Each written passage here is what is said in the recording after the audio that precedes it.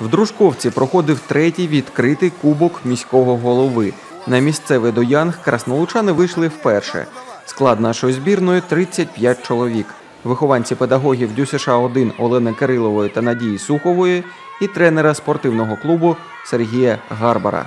то мы заняли неплохое место, третье общекомандное.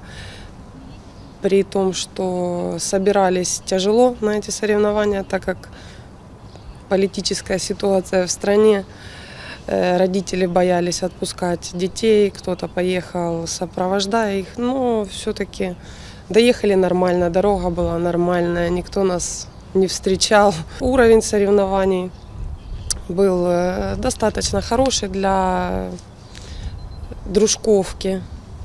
Ну, почти похож как на чемпионат области.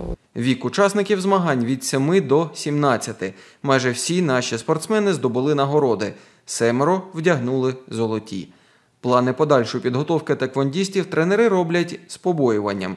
Щорічні всеукраїнські змагання ймовірно доведеться пропустити. Все соревнования отменили. Э, У нас уже должно было пройти чемпионат области и чемпионат Украины, поэтому для нас был застой в 4 месяца, и как бы дети, хоть выехав э, в город Дружковку, они хоть немножко проснулись, появился стимул дальше тренироваться.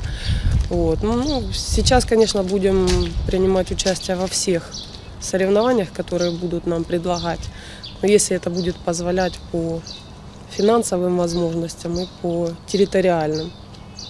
Ну, потому что в Харьков боятся ехать.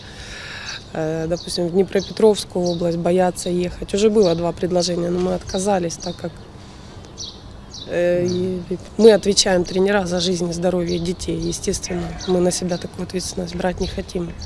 Хотя мы постоянно в это время туда ездили. В прошлом году мы уже э, к апрелю месяцу э, участвовали в четырех соревнованиях.